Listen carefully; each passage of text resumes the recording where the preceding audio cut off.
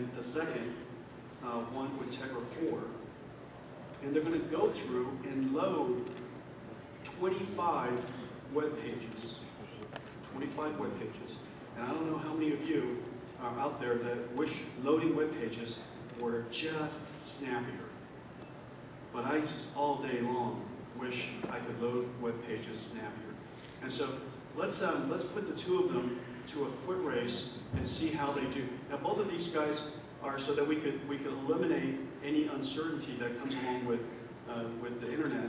Uh, we have them uh, we have the web pages fully loaded, and both of them are pulling it off of a server across over a router. So it's effectively like a controlled internet experience.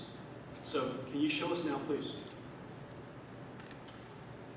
And so this is on the left is the Nexus 10, and we're going through websites here, Amazon's website, CNN, uh, New York Times, and on the right is uh, Tegra 4. And we're cranking along. And these are these are web pages that you see that you know everybody uses on a daily basis.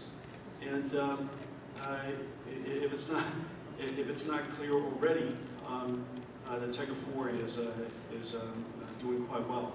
And so uh, it took about 27 seconds to load 25 unique web pages. And uh, uh, the Nexus 10, let's, let's uh, give it a chance.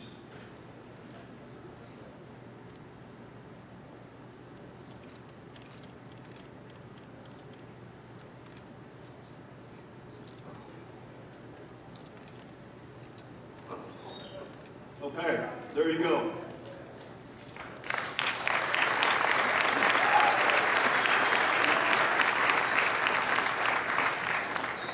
We're, you're basically running um, HDR in live video right now.